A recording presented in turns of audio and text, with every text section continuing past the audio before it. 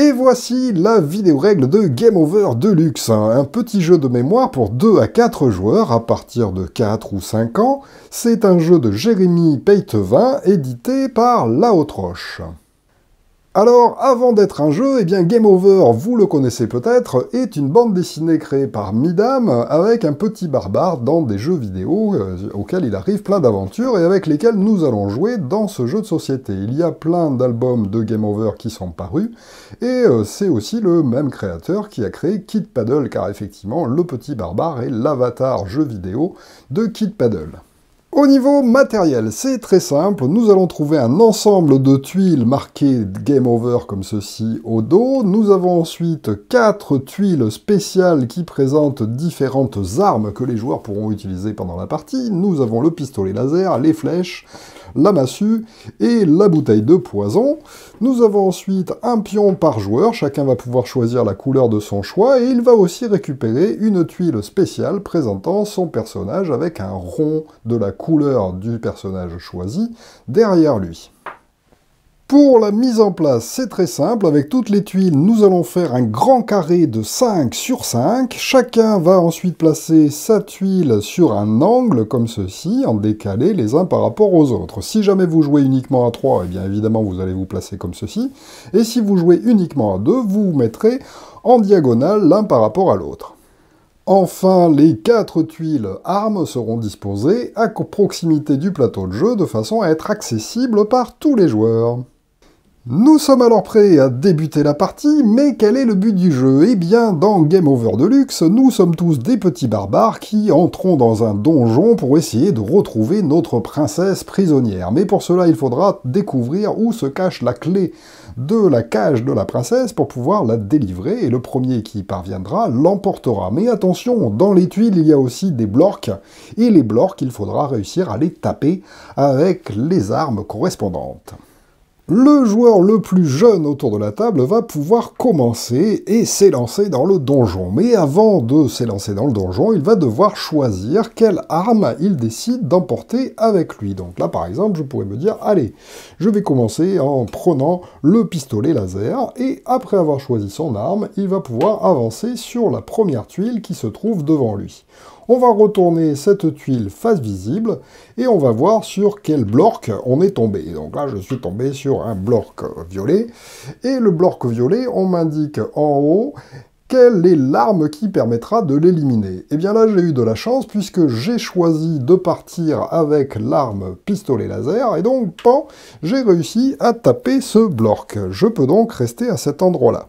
Comme j'ai réussi à avancer d'une case et à, éliminer le monstre, eh bien je vais rendre l'arme et je vais choisir une nouvelle arme avant de déplacer à nouveau mon personnage. Attention, on ne peut se déplacer qu'en ligne droite, il est interdit de se déplacer en diagonale.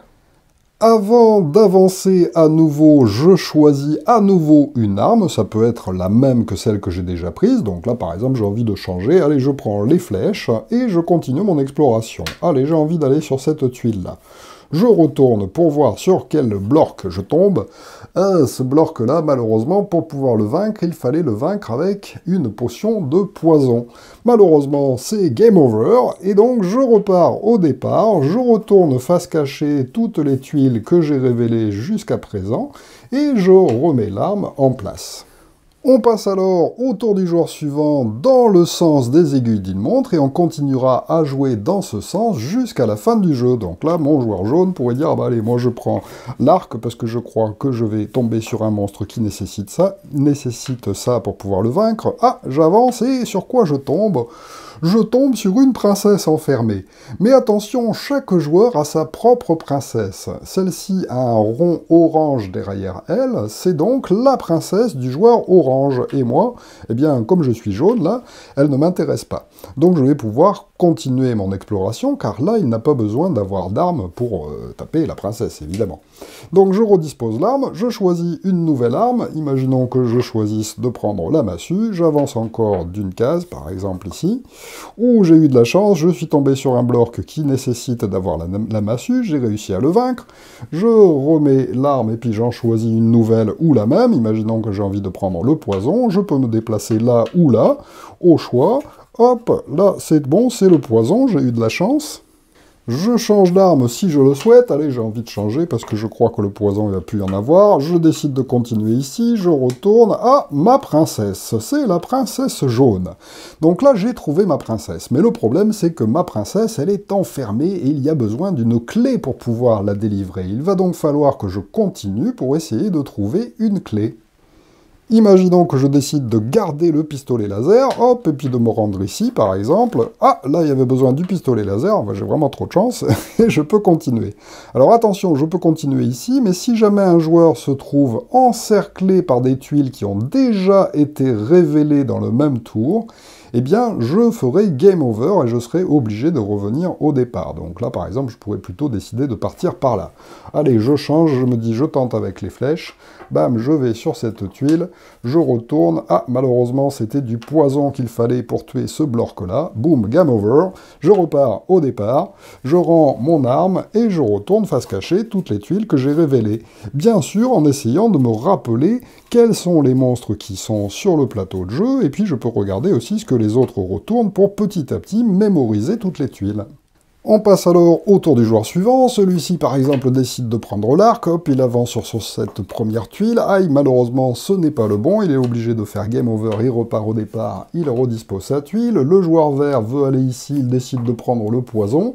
Hop, ouf, il a de la chance, il continue, il veut aller là, mais il décide de changer parce que le poison ne lui paraît pas adapté.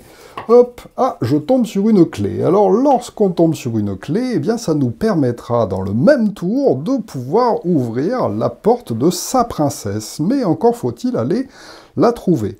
Alors, il y a deux possibilités. Soit vous trouvez d'abord la clé et ensuite vous vous rendez sur la princesse de votre couleur, soit vous trouvez d'abord la princesse de votre couleur et il vous faut aller chercher une clé.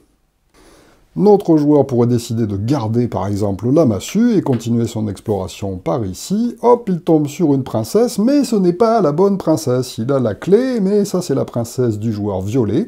Maintenant, le joueur violet évidemment mémorise où elle se trouve pour tenter de la rejoindre lors de son tour.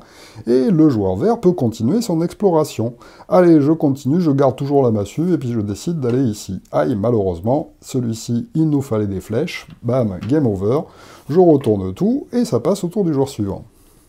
Alors bien entendu, il faut se rappeler des tuiles qu'on a déjà retournées quand revient son tour de jeu. Donc là, le joueur orange, eh bien, il se rappelle qu'ici, il fallait le laser pour pouvoir taper le monstre qui s'y trouve. Bam, c'est bien ça. Attention à bien se rappeler de toutes les tuiles qu'on a déjà explorées. Il avait été exploré ici, il se rappelle de ce qu'il fallait, mais il préfère continuer par ici, parce qu'on n'a pas, encore exploré cette tuile. Hop, il décide de garder par exemple le laser, il avance d'une case, et oh, il tombe sur la case sortie. Alors, cette case-là est une case de porte de transfert. Lorsque je tombe sur la porte de transfert, je peux continuer mon exploration sur n'importe quelle tuile qui n'a pas encore été révélée. Donc c'est un peu un passage secret qui me permettra d'aller n'importe où. Notre joueur orange pourrait dire, bon ben hop, je change d'arme, tiens, je vais prendre la massue, et puis je me rends euh, sur cette tuile-là, par exemple. Hop, je regarde ce que c'est. Aïe, malheureusement, c'était les flèches, game over, je repars au départ, je recache tout.